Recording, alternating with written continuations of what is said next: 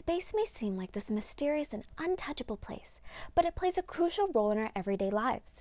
Think about how many times we call loved ones, look things up on the internet, or use Google Maps when traveling. These things are only possible because of over 2,000 active satellites in space. But as we speak, millions of space debris threaten these satellites and our interconnected way of life. And this problem is only getting worse as space exploration accelerates. Space debris is any man-made object abandoned in space. This can mean something as big as a rocket body or something as small as a paint fleck. Space debris can also be created from collisions, creating small and untrackable debris.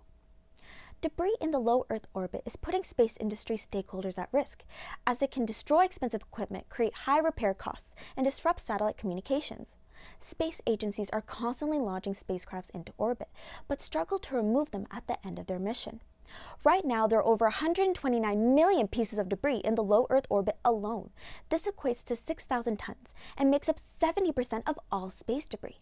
Having such a cluttered orbit increases the chances of collisions, thus creating more debris. These objects are orbiting at speeds up to seven times faster than a bullet. That's almost 30,000 kilometers per hour. This can lead to collision damages worth billions. Even a piece of debris the size of a grain of sand has caused up to $50,000 worth of damages. We are in the midst of a new space race, with companies competing to launch more satellites at a lower cost. SpaceX, Amazon, OneWeb, and Telesat plan to launch over 46,000 telecommunication satellites in the near future, which is more than five times the amount of objects sent to space in the past 60 years. This space debris problem does not just affect upstream industries like NASA and SpaceX, which launch satellites, but also downstream industries like Amazon and Google, which rely on these satellites for data and telecommunications. This downstream sector makes up 61% of the market, valued at $207 billion. Amazon's $5 billion satellite network aims to bring internet to remote areas, plus bring in 4 billion new customers. For this same reason, Google and Fidelity have invested a billion dollars for 10% equity of SpaceX. These rapid developments have made space more crowded than ever before. Studies show that removal actions starting in 2060 would be 25% less effective in comparison to an immediate start. In order to advance the frontier of space technology, something needs to be done now. Since the first launch mission in 1957 of the Sputnik satellite, there have been over 5,000 rocket launches and over 9,000 satellite deployments, leading to today's space debris problem. In 1969, the first fallen debris incident was reported when five sailors on a Japanese vessel were injured by Soviet spacecraft fragments, each weighing about 10 kilograms. In the 1970s, space agencies realized that space debris can negatively impact the success of their missions. The Russian Space Agency has been performing controlled re-entry of 140 resupply vehicles since 1971, and NASA began their orbital debris program in 1979 to design equipment to track and remove space debris.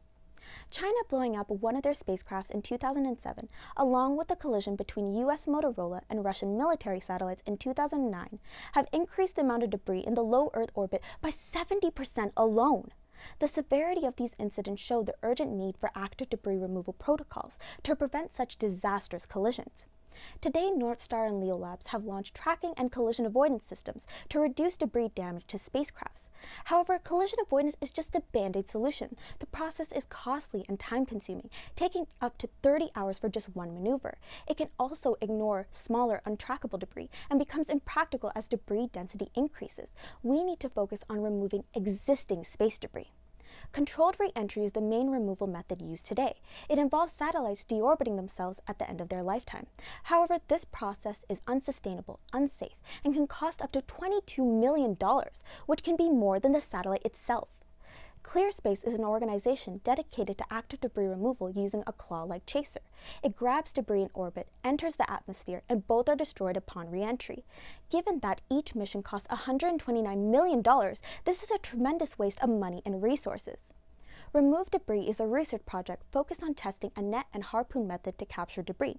However, these solutions have long removal times, and the harpoon method can create fragmented debris in the process. Ultimately, these proposed solutions lack the practicality to fully address the space debris problem. A good solution must be cost-effective and repeatable while avoiding debris creation. Such a solution would protect the valuable satellites that maintain our interconnected way of life, preventing billions in damages and allowing humanity to continue reaching for the stars. Thank you.